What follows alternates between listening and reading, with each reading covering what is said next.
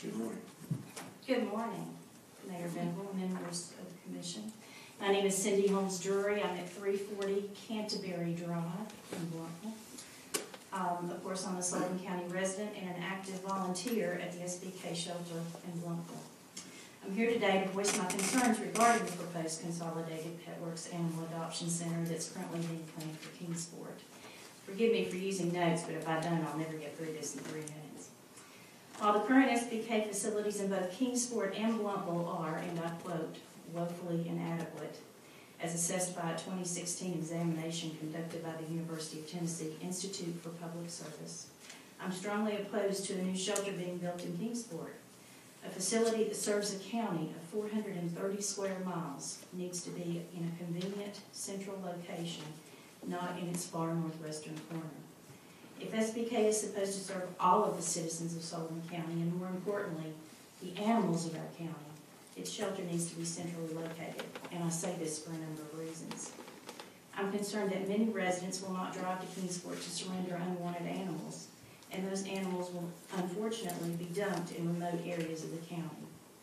Kingsport might not seem like a long drive to some residents, but others will not be bothered to drive a distance to give up an animal that they might not even hear about in the first place. Bristol residents will also have further to drive to reclaim lost animals.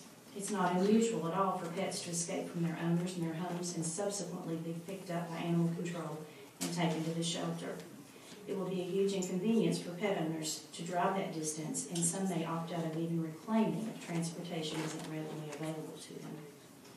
The SBK shelter in Blountville receives tremendous support from Blountville and the Bristol communities through fundraising efforts, animal and food, animal food and supply donations, and adoption event sponsorship and participation. Just this past weekend, PetSmart at Exit 7 hosted us at their National Pet Adoption Weekend. And the weekend before that, the Pinnacle Marquee Theaters invited us to be a part of the release of a new children's movie by bringing dogs and cats for an adoption event. It's concerning that these types of events in Bristol might cease if they're not coordinated by a Kingsport shelter. It's also concerning that some residents will not be willing to drive a longer distance to donate items and support a shelter located such a distance away. It seems that a larger staff of employees and volunteers would be required in the Kingsport facility to carry on with this level of support from the community. But in an interview given to WCYB on January 17, SBK President Tom Farm stated, and I quote, "We're going to consolidate in one, reduce staff, and be more efficient." Today, citizens and shelter volunteers have repeatedly asked board members and county commissioners exactly how many kennels for dogs the new shelter will contain, as well as the anticipated capacity for cats. We've received no definitive response.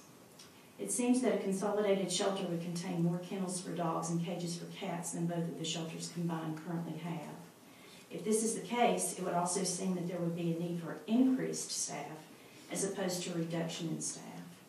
If the proposed Pet Works Adoption Center aspires to be a no-kill facility, as described in its mission statement, then a larger facility, more than the combined current facility with more employees will be needed. Also, more volunteers will be needed.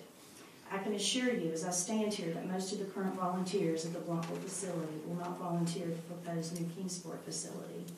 Most of our Blountville volunteers live in Blountville, Bristol, and Piney Flats. It makes little sense for those of us who coordinate and participate in adoption events to drive to Kingsport to transfer animals who need to? Okay. and back to Kingsport. Our volunteer group, as well as the employees of the Blountville shelter, are very dedicated and work diligently to place animals in permanent caring homes. If you haven't visited our shelter recently or perhaps at all, I encourage you to do so. Attend one of our adoption events. Talk to our volunteers. Finally, I'll wrap up here, I want to say that a homeless animal doesn't know he's being housed in a three and a half million dollar facility. All he cares about is attention, food, and water, and as volunteers, we want all of those things for him, plus a decent chance of getting him placed in a permanent caring home. Blountville Shelter's employees and volunteers are its biggest assets. Also, consideration needs to be given to updating the current facilities instead of constructing a new one. The county owns the shelters, and the money being spent on a new shelter could go a long way to improving what is currently in use. Let me go back to the 2016 statement, uh, the the, um, assessment that I mentioned early- earlier. It stated on page 11 of that study, the consultants assigned to the study stated that we highly recommend a single, new, centrally located facility. I respectfully ask that you carefully consider your vote today to appropriate funding for the land for a new shelter. I thank you for your time, and I hope you'll consider the best interests of the citizens and animals of our county by building a facility that's centrally located or by improving and enlarging our existing shelters. Thank you.